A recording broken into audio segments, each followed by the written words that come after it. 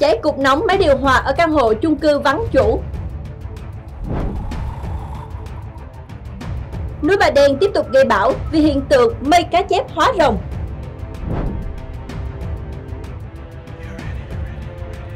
Người vận chuyển phiên bản lỗi.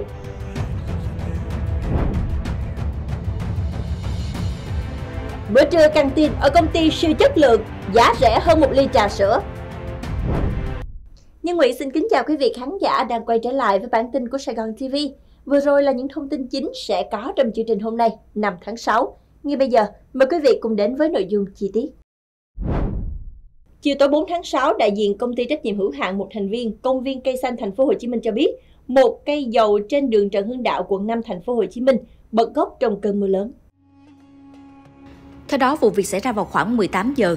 Cây dầu này được trồng trước số nhà 1069 Trần Hưng Đạo, quận 5. Đây là cây loại 2 với độ cao khoảng 13 mét. Nguyên nhân do trời mưa kèm gió lớn khiến cây bật gốc ngã lên vỉa hè. Một phần của ngọn cây tràn ra đường. Thời điểm xảy ra vụ việc trên đường có ít phương tiện giao thông di chuyển, phía dưới mái hiên ở gần đó có một số người đang đứng trú mưa. Tuy nhiên, do người dân phát hiện kịp thời nên không gây thiệt hại về người. Cây xanh ngã xuống làm hư một cây đèn quảng cáo và đè tróc vỏ một cây dầu gần đó. Ngày 4 tháng 6, Cảnh sát phòng cháy chữa cháy Công an tỉnh Bình Dương cho biết khoảng 17 giờ 45 phút cùng ngày, căn hộ nằm trên tầng 6 thuộc một chung cư ở phường Đông Hòa, thành phố Di An, tỉnh Bình Dương đã xảy ra cháy cục nóng máy điều hòa. Thời điểm này không có ai ở nhà, căn hộ bị khóa. May có hệ thống báo cháy của chung cư báo động nên lực lượng phòng cháy chữa cháy và cứu nạn cứu hộ tại chỗ của tòa nhà gồm 5 thành viên đã sử dụng các phương tiện phá dỡ thô sơ như búa, xà beng, kìm cộng lực để phá khóa cửa.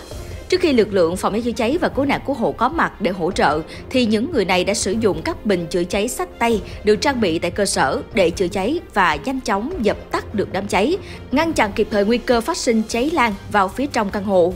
Theo đại diện cảnh sát phòng cháy chữa cháy và cứu nạn cứu hộ công an tỉnh Bình Dương, đơn vị sẽ đề xuất công an tỉnh khen thưởng cho tập thể cá nhân đã có thành tích xuất sắc trong việc sẵn sàng tham gia dập tắt đám cháy này. Di chuyển và đường giao nhau có vòng xuyến, hai xe vẫn chạy vun vút, không tài xế nào nhường đường. Hậu quả cả hai đều gặp tai họa. Đoạn clip được thành viên nhóm Facebook về giao thông chia sẻ mới đây cho thấy, dù di chuyển vào đường giao nhau có vòng xuyến, ô tô và xe vẫn chạy khá nhanh.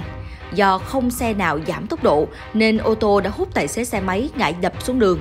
Đoạn clip thu hút hàng chục bình luận từ người dùng Facebook, trong đó nhiều ý kiến cho rằng xe máy di chuyển vào đường giao nhau có vòng xuyến nhưng không nhường đường cho xe tới từ bên trái ô tô. Tuy nhiên cũng không ít ý kiến nhận định ô tô cũng di chuyển nhanh, không giảm tốc độ khi di chuyển vào đường giao nhau theo quy định của luật giao thông đường bộ. Chương trình sẽ được tiếp tục với một tình huống giao thông đang thu hút rất nhiều sự chú ý của cư dân mạng những ngày qua. Dù di chuyển trên đường phố có nhiều các phương tiện khác nhau cùng đi lại, thế nhưng người đàn ông lại ngang nhiên chở một thanh sắt trắng ngang đường, gây nguy hiểm cho chính anh ta và những người khác. Mới đây, nhiều diễn đàn mạng xã hội đang chia sẻ đoạn clip ghi lại khoảnh khắc đáng chú ý đến từ một người đàn ông đang điều khiển xe máy chạy trên đường. Theo đoạn clip ghi lại, người đàn ông điều khiển xe máy trên con đường có nhiều phương tiện khác nhau di chuyển qua lại. Đáng nói, trên xe của người đàn ông có một thanh sắt khá dài chắn ngang đường. Thanh sắt này không được cột chắc chắn, do đó trong quá trình xe di chuyển, thanh sắt liên tục chao đảo gây cản trở cho các phương tiện khác. Thậm chí, rất nhiều phương tiện phải chủ động tránh né xe máy của người đàn ông để không gặp phải nguy hiểm. Ngay sau khi đoạn clip xuất hiện trên mạng xã hội, lập tức nhận được nhiều sự quan tâm của cộng đồng mạng. Nhiều người không khỏi bức xúc trước hành động của người đàn ông. Việc chở thanh sắt dài và cùng kề như thế trên đường không chỉ gây nguy hiểm cho các phương tiện khác, mà còn gây nguy hiểm cho chính người đàn ông. Chỉ mới phát sóng hai tập chương trình truyền hình Rap Việt mùa 3 đã gây tranh cãi trong việc chọn và loại thí sinh. Trong đó, khán giả tại trường quay có quyền bầu chọn để quyết định thí sinh đi tiếp hay không, bị nhiều người ném đá là mê vẻ ngoài thiếu kiến thức. Sau tập 2 của Rap Việt được phát sóng tối 3 tháng 6, chương trình gây tranh cãi vì thí sinh tiềm năng Alan, còn gọi Mega Shop bị loại vì chỉ nhận được 48% bầu chọn từ khán giả trường quay. Theo quy định, thí sinh nào có lượng khán giả bầu chọn hơn 50% mới được tiến vào phần chọn lựa về các đội huấn luyện viên. Trong khi đó, thí sinh Duppy Khương Lê với ngoại hình điển trai sáng sân khấu nhưng có phần trình diễn tiết mục đóng băng nhạt nhòa. Thế nhưng Duppy lại nhận đến 96% bầu chọn từ khán giả trường quay và được các huấn luyện viên chiêu mộ vào đội mình.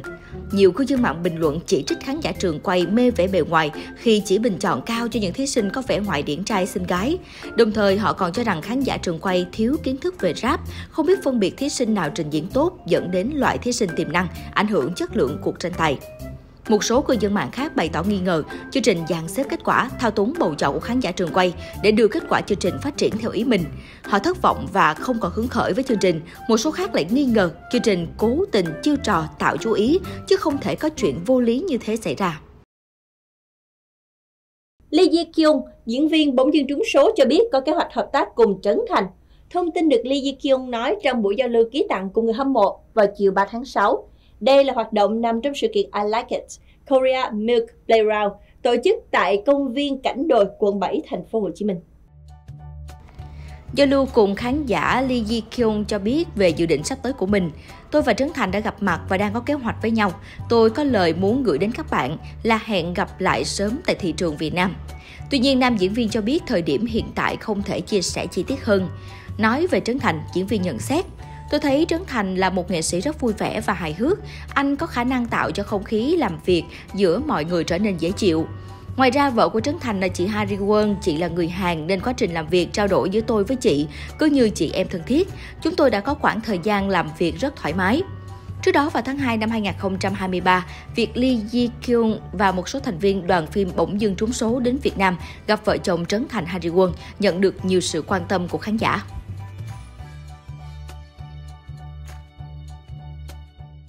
Thưa quý vị, có lẽ dân văn phòng thì không chỉ trăn trở về công việc mà còn suy nghĩ rất nhiều mỗi khi đến giờ trưa vì không biết trưa nay ăn gì. Vì chọn bữa trưa ai nấy đều sợ, vì chọn món ngon thì chưa chắc được tiêu hời, món muốn ăn thì quá đắt, nấu cơm mang theo thì lại phải cất công dậy sớm, nấu tiết kiệm thời gian thì bữa ăn đâu đủ chất. Thế nên khi chứng kiến những bữa trưa căng tin ở một công ty, ai nấy đều ghen tị không chỉ vì căng tin đổi món đa dạng mỗi ngày mà chất lượng bữa ăn so ra phải gấp đôi mức giá bán. Mới đây, một nam nhân viên đã chia sẻ lên mạng xã hội về bữa trưa tại công ty của mình. Cụ thể, ở tại khu nhà ăn của công ty này, các bữa trưa sẽ được chuẩn bị bởi các đầu bếp lành nghề. Thực đơn mỗi ngày có rất nhiều món để chọn lựa mà còn được thay đổi theo ngày. Không đơn giản là cơm trưa văn phòng bình thường mà bếp công ty rất chăm đổi khẩu vị như bún đậu mắm tôm, bún thịt nướng, bún cá để nhân viên đi làm mỗi ngày không bị ngán. Ngoài đa dạng hình thức ra thì độ dinh dưỡng khiến ai cũng an tâm khi bữa ăn đầy đủ các loại rau củ, thịt cá tươi ngon kèm theo sữa, trái cây, cam ép trong mỗi suất. Với lượng thức ăn mỗi phần rất nhiều, đảm bảo no căng mà có khi ai có sức ăn mạnh mới ăn hết thì rất nhiều người đoán giá phải tầm 50 đến 60 ngàn đồng. Thì thực tế lại bán đồng giá chỉ 35 ngàn đồng. Ai cũng không ngờ rằng với giá chưa bằng một ly trà sữa xế chiều mà lại có một bữa ăn thịnh soạn như thế. Ngoài chất lượng bữa ăn, nhân viên này còn khiến hội công sở ghen tị vì được thưởng thức bữa trưa tại công ty mà ngỡ như một nhà hàng nào đó. Không gian ở đây được đầu tư rộng rãi, sạch sẽ, sáng sủa. Khu vực ngồi ăn cũng kê bàn ghế sang trọng đàng hoàng. Một điều mà nhiều người đồng tình với chủ video khiến bữa ăn càng ngon miệng hơn nữa là khu ăn uống được chủ ý xây dựng có view kính nhìn ra khuôn viên cây xanh hoặc nhìn ra đường phố nhộn nhịp, rất thú vị.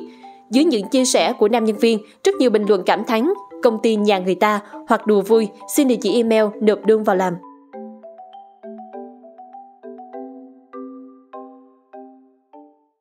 Sáng 3 tháng 6, du khách lên núi Bà Đen sửng sốt chiêm ngưỡng hình ảnh mây, tạo hình cá chép hóa rồng đẹp chưa từng có tại ngọn núi, từng xuất hiện rất nhiều hiện tượng mây kỳ thú này.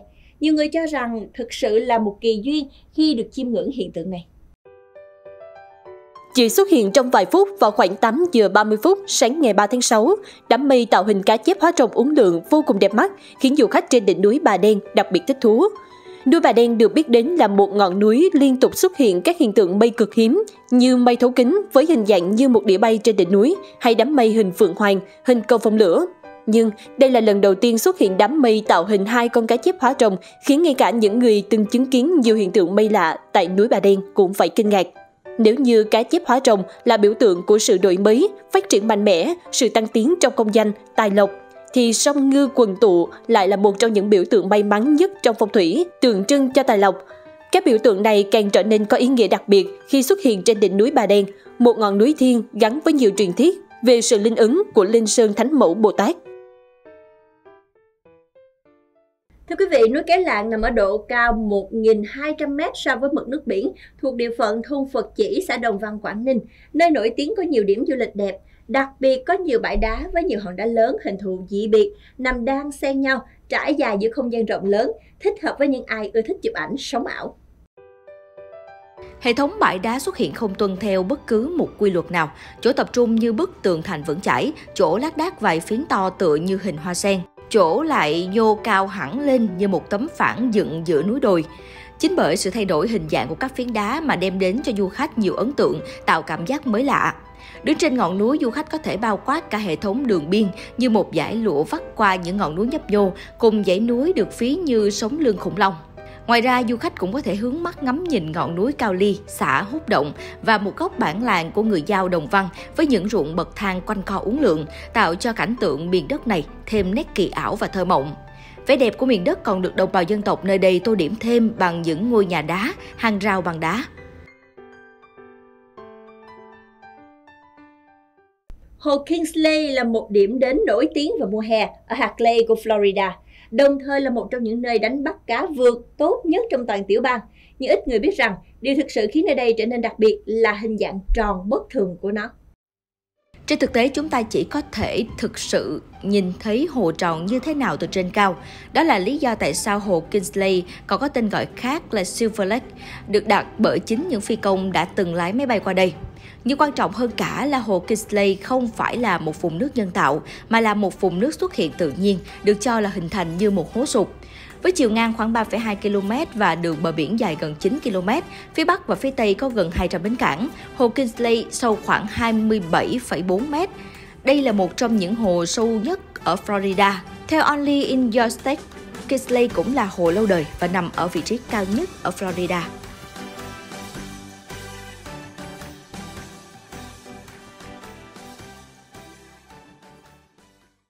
Xin được chuyển sang những thông tin thế giới đáng chú ý.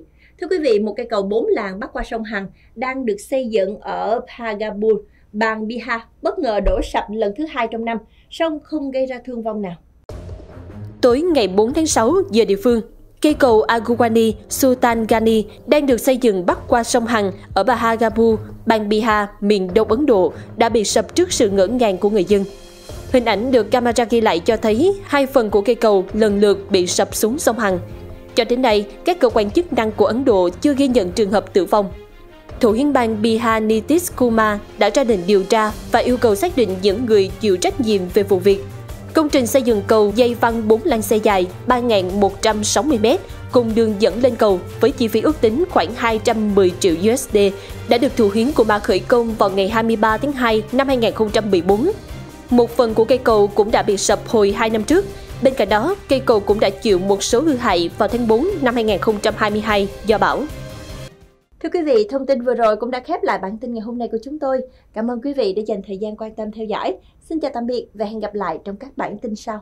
Gửi ngay tin nóng cho Sài Gòn TV qua hotline 0909 660 550 để có cơ hội gia tăng thu nhập nha.